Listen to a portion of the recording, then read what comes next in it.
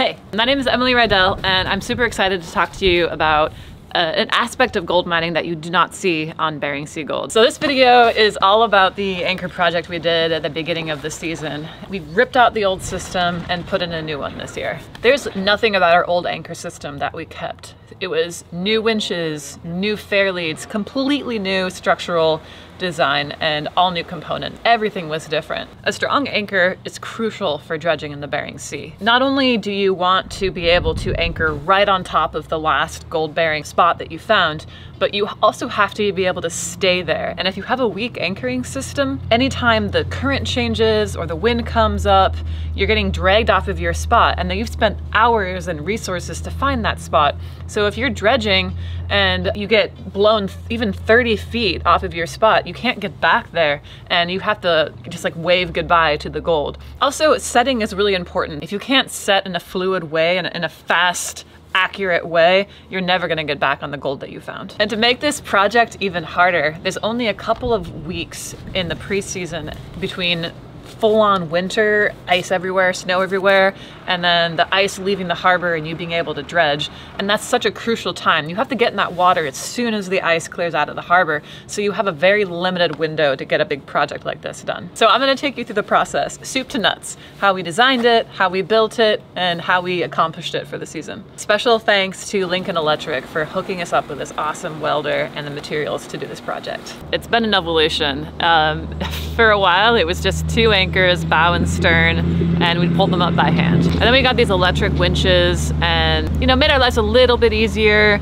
And over time, we added a third fair lead and anchor on the starboard bow. So three anchors, electric winches, all running on a 12 volt system. There were a couple problems with this anchoring system. The drum winches didn't have enough capacity for the type of heavy chain that we wanted. We had to use this like, this small like half inch chain. The chain really is what helps to keep the boat in place. So the result of that not having the right chain was that we'd blow off of our spot a lot a lot, which was incredibly frustrating for the diver. He's worked so hard to get there, and then the minute the current changes, he's gone. So the next problem was that the switches operating the winches were in the cabin. So one guy had to be in the cabin, the other guy had to be on the bow or the stern, holding the line, making sure it didn't backlash, which it did constantly. And then there was just no communication between them. It was just a lot of wild shouting and gesticulating. I mean, Setting anchor was so traumatic. You'd just be exhausted by the time the anchors were down and you hadn't even put the hose in the water yet.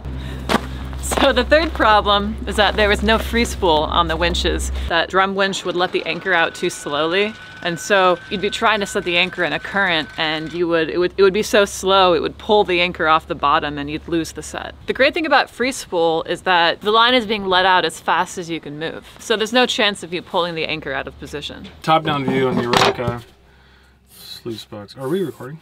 Yeah. Oh, I didn't know. okay, so there's the gold. Here's a capstan here and a capstan here. So our big idea was that from this capstan, we can have an anchor going this way, anchor going that way. Same thing over here.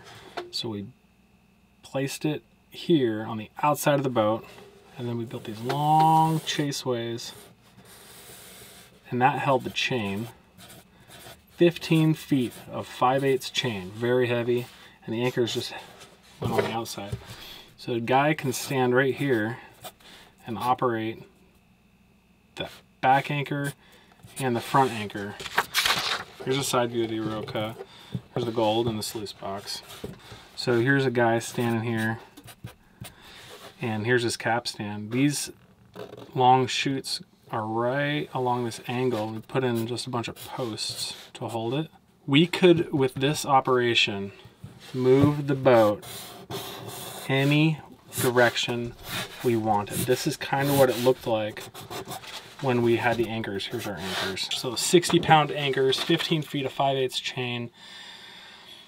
And with four positions, that the wind could be coming this way, and the tide could be coming this way, and the boat wouldn't twist or or or or, uh, or swing out of the way. So it kept the diver on the gold, which that's the only way you're making money. Is this typical of preseason? This this big of a project?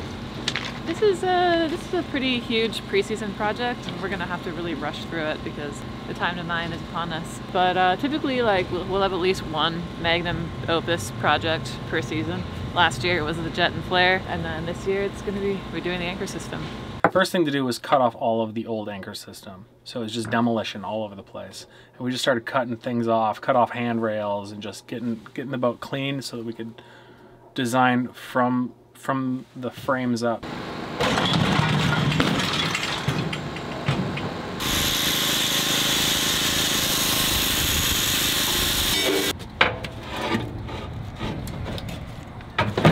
There we go.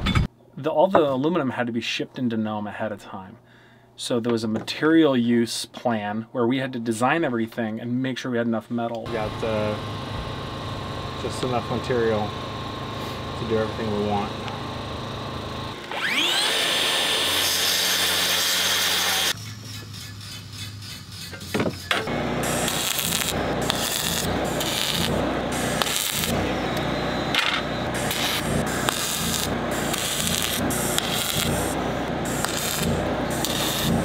Going to be the challenging corner because we're going to have to deal with an anchor going over the hose. And this hose, when we're traveling, the hose is up like this. When we're mining, we're going to like set it down in the water and it's just a major conflict point and we're going to figure out how to run the channel, the anchor line, and the chain over this hose and have it not be a major tangle when we're out in the water or when we're like hauling in gear when it's stormy and that sort of thing.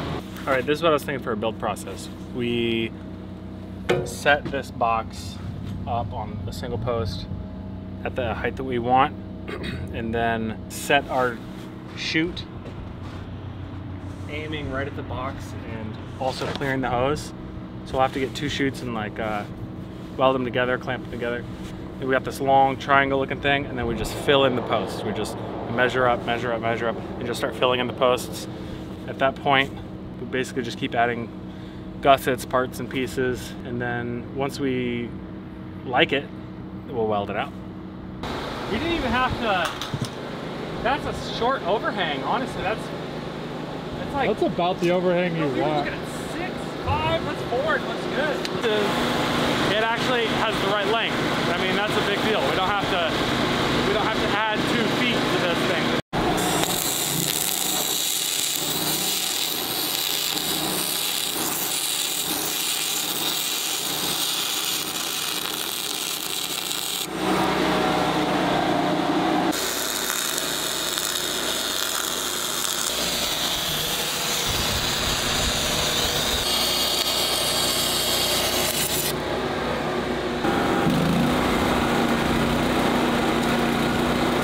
First off, we're mobile. We don't have any electricity here, so this Lincoln welder is performing. You just crank it up. It's got all the volts I need to weld uh, these like 3 8 I-beams welding to this 3-inch box tube. And it's extremely out of position stuff, but that spool gun actually reaches under there really tight. And so no problems there. The only holdup we're having is trying to get parts. So go to the store to get some bolts. They don't have any bolts. Yeah, you go and you try to get your capstans and they said, oh, it didn't make it on the plane, it's an anchorage. So that's the main struggle. Progress is going really well. Uh, Dan's super efficient, fast, and uh, husband is also. Um, and uh, yeah, Dan and Alex are just ripping it out. It was a big project to take on pre-season, but it looks beautiful, and the welder's doing a beautiful job, and we um, can't wait to see it out in the water and see how it works. All right, we're all wired in here. So this thing should be ready to turn. We got our foot pedal. All right, let's see. Oh yeah. Look at us go. Nothing's smoking or frying in there. This is like a Zoolander, it only turns one direction. It only turns, yeah, clockwise. Oh no. That's good. It makes the decision making easy for simple gold miners, you know? it's either the anchor's coming up or it's not. So. Yeah. we are pulling up the anchor for the first time. This how you do it? Yep. Cool. Oh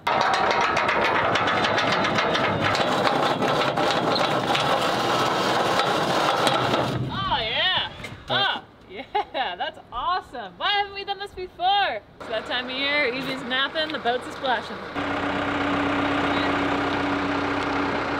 Oh, she loves when the boat splashes. It's our favorite when the boat splashes.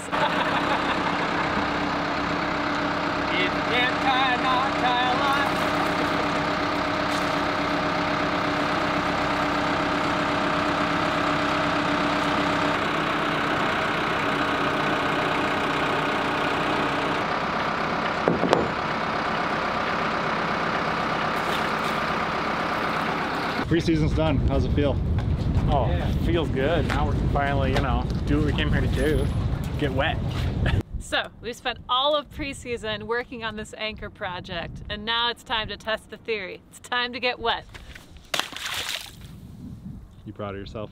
It's gonna be a lot deeper than that. We're, we're close to the spot that we want to set, right? So in order to prep the anchors, Dan's going to kind of lean the anchors off so that we can make a round haul and we can just go drop, drop, drop, drop. As they sit in the channel right now, they can't just slide out under their own weight. They need a little, uh, some help. So basically, now that we have the new anchor system, we can free spool these things. We don't have to worry about letting anchor out uh, as we drive. So we can just drop them where we want them and pull into our set and it's a lot more accurate and stronger. We haven't messed it up too bad so far. Loosen this, loosen this. All right, get us into the line.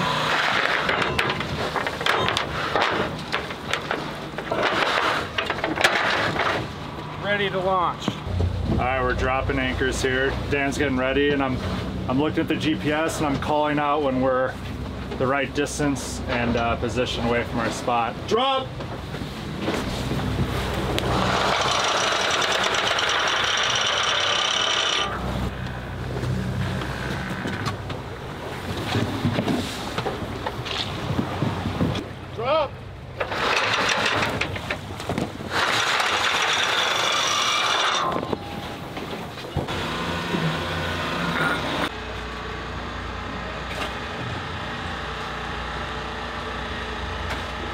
Paul just saw a jellyfish. Here's a surprising, uh, unpleasant thing about this job is sometimes a jellyfish will get sucked up into the foot valve and then it'll get mushed up in the pump and pumped into your suit. so if you start to feel a light burning sensation all over the place, that's a jellyfish milkshake in your suit.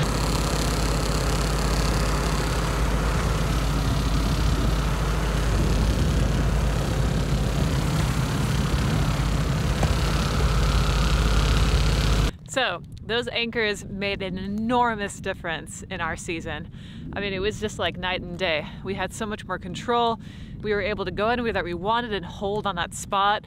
And as the diver was following and finding gold, we, the boat was able to keep up with him and keep him anchored exactly where he wanted to be. And the proof is in the pudding. Alex, what are we doing? We're weighing our gold, baby. Oh yeah, how long is this? Two days? Three days? This is uh, a few days, 36 hours on the box. yeah. That's it. So if we get more than 36, Yeah, we're over ounce an hour. over an ounce Which an is hour. exciting. We need a bigger bowl. There we go. Okay, guys, half an ounce. Nice. Oh my goodness. Um, 15. Keep going. 20. Yeah, buddy. Give me north of 30. Come on, yeah, 30. buddy. Yes. On the butt. One ounce an hour. Yeah. Thank you for your help, man. No worries. My.